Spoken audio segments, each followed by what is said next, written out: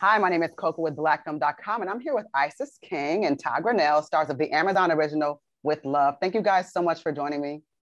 Thank you, Koku.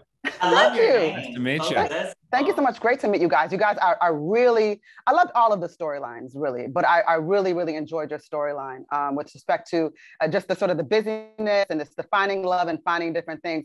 What I wanted to talk about uh, that was so important to me, and Isis, you can speak to this, was that, you know, everything isn't sort of a one size fit all. We just assume that every queer person is supposed to get along and everybody's a monolith. But this script just said, hey, it ain't, it don't go down like that. What did you think about that? It was refreshing because I feel like we we hit on personality and nuances that I've never personally seen, especially for someone queer and even me with my friends, you know, and the, the way we bantered or with my family or with my, I just feel like there were just moments there that I've never seen that I feel like I have. So to read them in the script, to see them there, I was like, oh wow, you can tell they were there was diversity in the writers' room, but also to bring it to life and to do it with this amazing cast and this energy on set. It was refreshing. So watching it, I was like, wow, like Gloria really bottled up things that I've always wanted to see, but and I've never seen. Hmm She did a great job with that, and I actually was was making sure that I, I mentioned that to her. Todd, what, what's your perspective on that? This the way that this this show portrays the relationship between Miles and Sol is uh, is the first time that's ever happened on television. It's long overdue. I Mhm. mean, it's it's. I'm so honored that we get to be a part of this story to to destigmatize, um, you know, the way that people have have viewed uh, all relationships actually Mhm. uh, forever, and just honor the fact that we're t- you know this is about two people falling in love. Mhm. That's it. And- and Nothing that's else it. matters. And Yep. finding happiness. That's all that And- matters. That's all that needs to anyone to, to be concerned with. there, there's so much attention in the script to making sure that people are heard. I mean, even in terms of pronouns.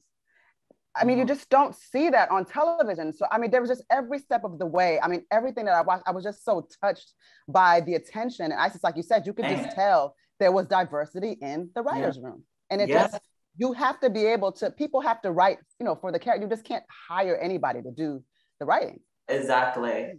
Like I said, to see me and my friends having our conversation and some of the little nuances there, I was like, wow, you can just feel it. I'm like, wow, I've never seen this. And this is my conversation with my friends like earlier that day. You know, it mm-hmm. was just refreshing and and it's simple things that just shows everyday life that we don't see. Like a trans person, I'm a I'm a normal person, you know, so I deserve to have a career and family support and love and friendships just like everyone else yes, a coming out story is cool, but what happens after the coming out story? We're always Right. so stuck there. So what happens, and, and this is kind of what happens after that when the person is accepted and we're just living our life.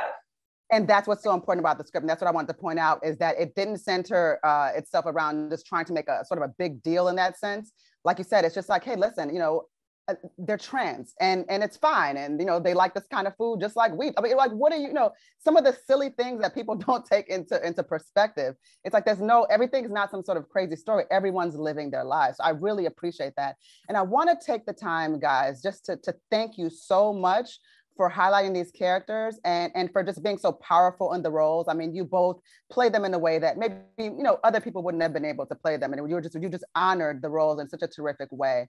And this is very uh, important television. Very important. Thank you, I- thank I- you so much, and thank you for No, I- getting those pronouns right. I think you're the first person to. Yeah. Oh my goodness, no. I mean, it's important. Like I said, as I was watching the show, I understood. It, it made more sense to me, and I just really understood why it's important. And I just want to thank you.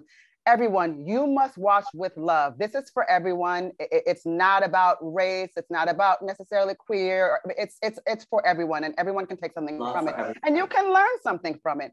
And it's it's it's with love, and it's on Amazon. It's an Amazon original. It's uh, coming Yeah. out December seventeenth.